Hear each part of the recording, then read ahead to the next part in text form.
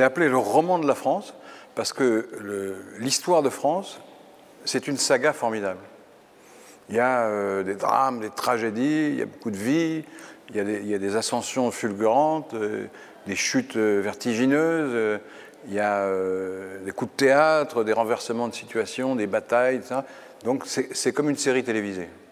Et donc j'ai voulu raconter l'histoire de France à partir de ça, c'est-à-dire des personnages, de leur histoire, de leur souffrance, de leur victoire, de leur défaite, de manière à ce qu'ensuite on puisse comprendre la trame des événements à partir de scènes euh, visuelles et concrètes.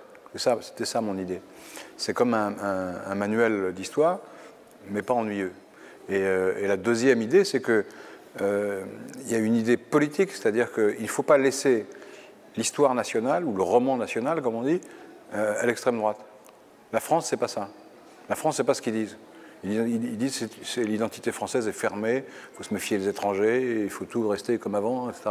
Or, toute l'histoire de France démontre que euh, c'est un mélange et c'est une quête, c'est une idée. La France, c'est un héritage, mais c'est un projet. Et l'idée principale, c'est la liberté. Et donc, c'est une histoire vivante, distrayante, je pense, mais il y a un message qui est que euh, ce qui caractérise la France, c'est le combat pour la liberté. J'ai lu les, travaux des historiens, mais je les ai re-aménagés de manière à, en faire un récit, avec un début, avec une fin, avec des rebondissements, etc., mais tel que ça s'est passé. Pas, pas, je n'ai pas inventé, autrement c'est pas un livre d'histoire. Et donc, euh, euh, parce que chez les historiens, euh, sur chacune des périodes, vous avez des biographies, vous avez des monographies, et donc tous les détails sont là. Et donc moi j'ai repris les détails et les scènes et les dialogues quand on les avait, parfois souvent on ne les a pas, mais euh, qui, pouvaient euh, euh, incarner les personnages et incarner l'histoire. Je suis un passionné d'histoire. Ce que j'ai voulu retrouver, c'est les émotions que j'éprouvais moi quand j'étais enfant, enfin élève, au collège, et qu'il y avait un bon professeur d'histoire. Parce qu'un bon professeur d'histoire, il vous raconte des histoires. et c'est ça qui vous passionne. Et après, vous comprenez ce qui se passe. Mais si vous ne savez pas euh, qui est qui et qui a fait quoi, vous ne comprenez rien. Ou alors c'est ennuyeux comme la pluie et vous ne retenez rien.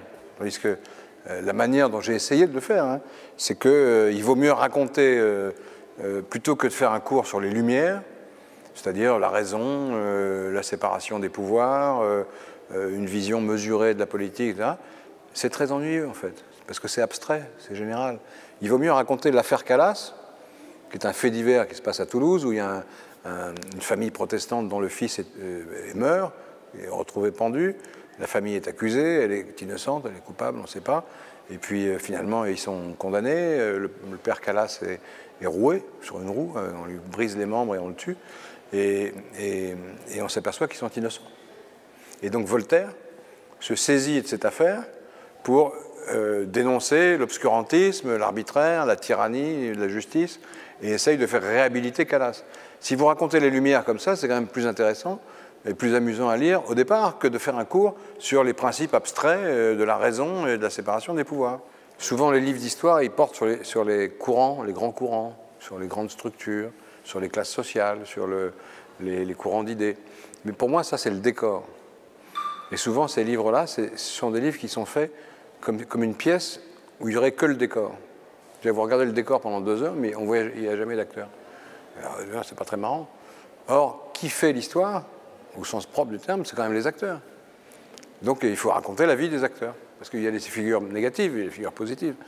Mais euh, euh, chaque. Jeanne d'Arc, c'est absolument fascinant. C'est une jeune femme de 19 ans qui prend la tête des armées françaises pour combattre euh, enfin, les Bourguignons, enfin, d'autres Français et les Anglais. Et, c'est incroyable. Chaque épisode est incroyable. Chaque épisode euh, c'est mieux qu'une série américaine, bien sûr. les guerres de religion, c'est fascinant. la, réforme protestante, c'est un, moine qui placarde un texte sur une église, loin en Allemagne. Ça bouleverse l'Europe. Incroyable. Par exemple, mais il y en a plein d'exemples comme ça. Et, donc, euh, euh, c'est épisode après épisode, il y a une continuité qui est que euh, les personnages, soit négatifs, soit positifs, préparent, euh, sans le savoir, hein, euh, les progrès vers une société plus libre. C'est aussi ça qui fait la trame de l'histoire.